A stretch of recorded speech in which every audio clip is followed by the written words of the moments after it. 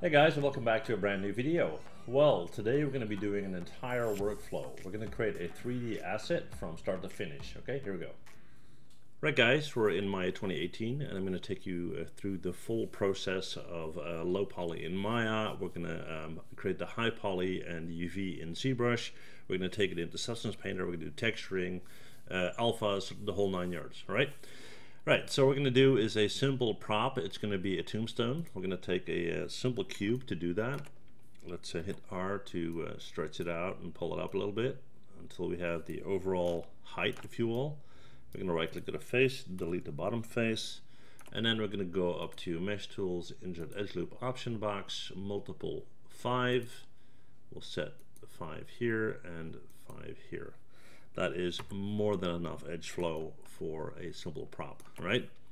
So we're going to go in here and we're going to hit Q on our keyboard to get out of that edge loop mode. We're going to right click at our vertex. So we're going to drag select these. Hit W to move them up and we're going to skip one at both ends and we're going to move it up again and we'll do that one more time and move that up one more time okay pretty straightforward thickness is a bit much so we're going to go to object mode hit R and push that in a little bit. And then we're going to go in and we're going to select that outer edge. So we're going to double click on this guy this guy this one this one that one and that one and then we're going to take this one on the corner and that one on the corner and we're going to go to uh, edit mesh and bevel which I'll just uh, break that up a little bit. Now we have some uh, triangles going on here. That is not necessarily a problem as game engines uh, triangulate anyway uh, but you know just so you know right? Okay so I want a little floor section as well for this. You don't need to but I just like it. So we're going to take a, a uh, polygon plane, we're to W to move that down, hit Control A. I don't need that level of subdivision, so I'm going to go in and set that to, let's do one by one. We're going to hit R to scale it up a bit. And let's just uh, bring that up so it's where it should be. All right. F to frame it. And that looks all right. I'm going to drag select the two. I'm going to go to mesh and combine. And then let's see, we'll go to uh, edit, delete by type history. Let's go to modify freeze transformation and modify center pivot, all right? So for now, this is our uh, low poly, okay? We're gonna select this guy and it's uh, combined, yep. We're gonna go to file and export selection and on my desktop and I was playing around with this so let's overwrite this one just gonna go to export selection overwrite yeah there we go. And then it's time to take this into ZBrush. Here we go. Right guys we're in the ZBrush. Let's go up to uh, import. I'm gonna go to my desktop. I'm gonna select my uh, OBJ and I'm gonna left click and drag and pull that out. Hold shift to snap it. And then I'm going to click on edit and I'm going to click on make polymesh 3D so now if I hold down uh, my left mouse I can move it around. You can see that it's in orthographic mode which I personally think always looks a bit weird. So I'm going to switch to uh, perspective mode. I like that much better. And what you can do is turn on your polyframe to see what your mesh looks like okay? Now, what we're going to do first is we're going to go in here and we're going to make sure that the way that the mesh is distributed, it looks better, okay? So instead of having uh, this right here, what we're going to do is we're going to go to uh, geometry. We're going to go to our remesher right here. I'm going to set that level quite low because this is supposed to stay our low poly. So let's try 0.5 roughly and click on our remesher. And there you go. It uh, looks much, much better in my opinion. It's evenly distributed, so uh, it's good, right? So what we're going to do next is we're going to go up to our uh, subtool, and this is what we got so far. I'm going to click on it. I'm going to rename it, and we'll call this uh, rest in peace underscore low poly. Okay. Now I want a high poly as well, so we're going to misuse this. We're going to duplicate it. Uh, so we're going to duplicate that we're going to take the duplicate, rename that, and we'll call that one high poly. Okay. Now, what we're going to do first is we're going to select our low poly, turn this guy off, make sure this one is selected. There you go. And we're going to UV this, and we're going to do that in ZBrush, okay? So what we're going to do is we're going to go up to our, uh, where do you go? Z plugin. We're going to go to UV master, and I'm going to select unwrap all. Very straightforward. Now that shouldn't take too long. I think it's actually already done. Uh, we'll just uh, check. We're going to go back and we're going to look at uh, flatten. As you can see, it did that. It's okay. And based on the texturing that we're doing on this thing, this is fine. We don't have to cut that up any further. If I were in Maya, I would probably do that, but for now it's fine. So we're going to go back to Z plugin. I'm going to go to unflatten and we're good. So we now have a low poly that's UV'd. We have a high poly that we can work on. So we're going to turn off the little eye thingy on that one. We're going to select our high poly. That's what we're working on right now. And we want a lot more uh, subdivision to make that look nice, okay? So what we're going to do is we're going to go to uh, geometry right here, and we're going to dynamesh it. And uh, let's see, um, we need to kind of decide where we want to go as far as, um, you know, the poly count is concerned and so forth. So uh, let's see, where's my dynamesh? Right here. Okay, and we need to kind of decide on a resolution. So I'm going to go around about 500 or so. And yeah, I think that looks fine. And then what we're going to do is we're going to click on Dynamesh. We'll give that a second. As you can see, nice dense uh, surface here. Perfect. We can turn off polyframe now and we can start to work on it, right? So what I'm going to do is I'm going to take a brush and uh, right now I'm working with a mouse which is not ideal so uh, forgive me for that uh, but let's see. We'll take our uh, trim dynamic um, brush right here. Freehand looks fine and we'll just uh, go in. So like I said if the movements look a bit uh, off then you know that's why. Um, I'm doing that on purpose for the simple reason that not everybody has a pen to work with and I want to keep things fair okay. Now this is a little bit rough so I'm gonna hit control Z to go back and let's make our brush a bit smaller. Let's do that again. Yeah. We just want to use that brush to break up that edge there okay? And just kind of go through it. And you can turn on symmetry if you want but I don't want things to look identical on both sides so I'm just going to do it this way but if you do want to turn on symmetry, just hit X on your keyboard. Okay. And we'll just, uh, I'm trying to do this a bit quick because no point in you guys watching me do all that.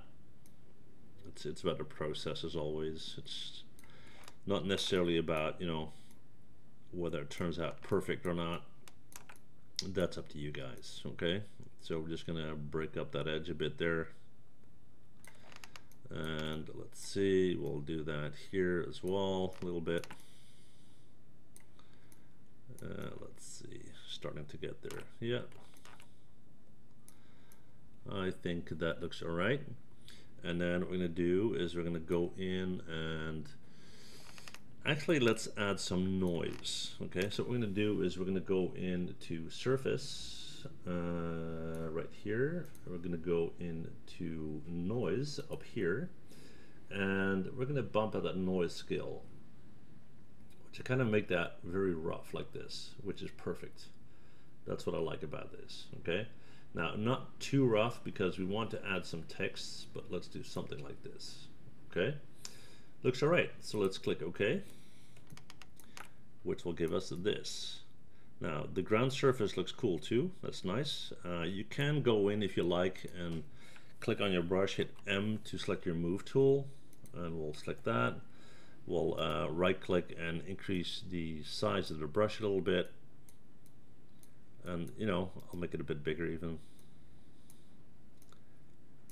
just so your surface is not completely flat and it looks a little bit more natural okay I don't know if you guys can see that or not but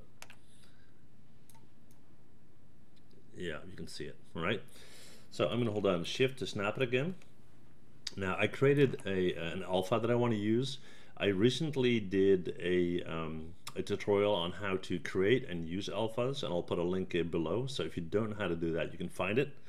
And uh, yeah, that's what we're gonna do. So we're gonna go to our brush. We're gonna select our uh, standard brush. I'm gonna go in here. I'm gonna change this to a drag rectangle, and then I'm gonna go into my alpha.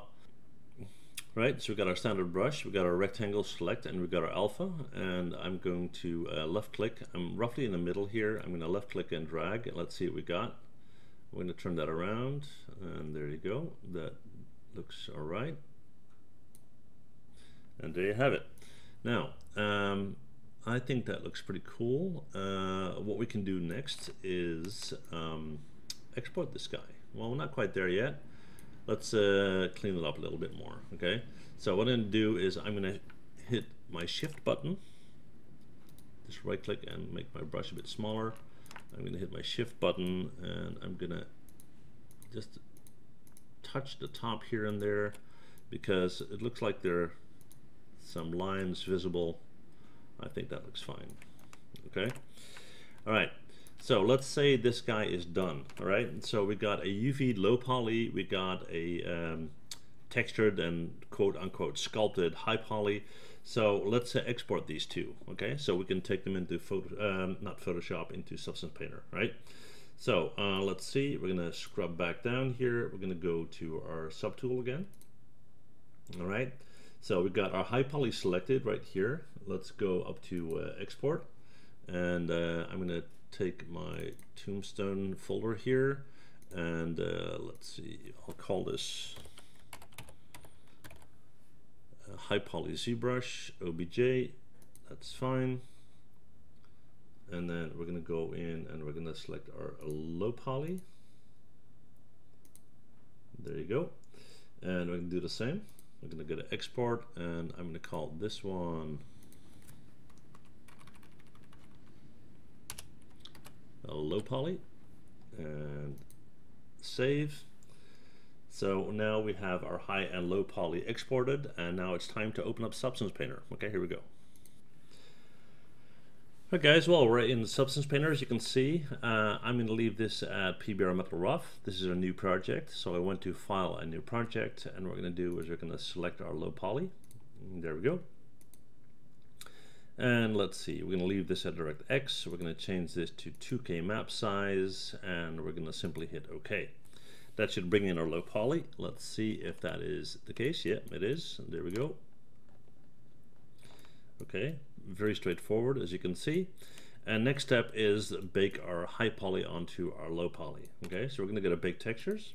And initially I'm going to turn everything off with the exception of nor normal and ambient occlusion for the simple reason that I want to make sure that there are no issues. Uh, so if they are, uh, if there are issues, I can take the normal, for example, into Photoshop and correct it, because the other maps are uh, mainly based on these, right? So uh, let's see, we're to select our high poly mesh right here. Uh, there we go. Uh, we're to set this to 2K map size as well, and we're good. So let's bake.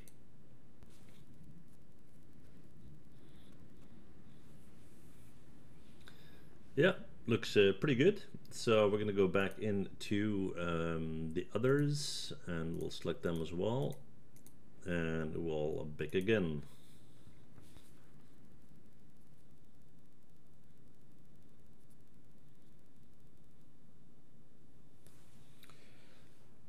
Alright guys, and there you go. I think uh, the bake turned out quite well. Uh, you can see all the details that we want, and um, from now on it's basically texturing.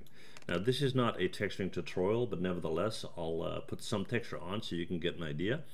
And let's see what we got. Um, we're gonna have a look at our materials here. We have, uh, let's see, wood, plastic, copper. Okay, none of that's gonna work. Um, I did find something that is called concrete, uh, which is this guy right here. So why not have that on it? Okay, so I'm gonna pull that up drag that on. And there you go. Now, a couple of things we can do here just to spruce it up a bit. I want the floor to resemble um, ground, basically. Okay, so I'm going to add a new layer. I'm going to take a brush. Uh, let's see. Uh, we got this brush going on. I can increase the size if I like. Decrease the flow. Just so it's not too much. Then scroll down and let's see. We're going to change the color here to, uh, let's do black initially. Maybe increase that brush size a bit and we're just gonna kind of go over that floor a bit just to break things up okay? All right and then we're to go back in and uh, let's uh, tweak that color to something more green.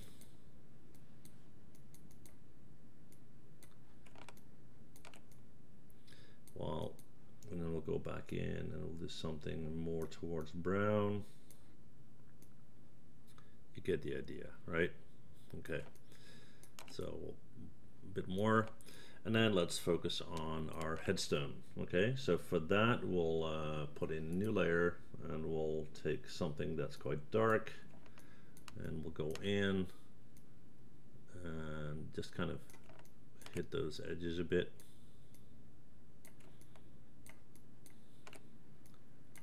Like so. And then if you like you can go in and look specifically at this area here. So we're gonna take the brush and push that down in size quite a bit. And you can go in and you know kind of add some details to our alpha just so it pops a bit more. And like I said before I'm doing this with a mouse so it's not ideal but you get the idea right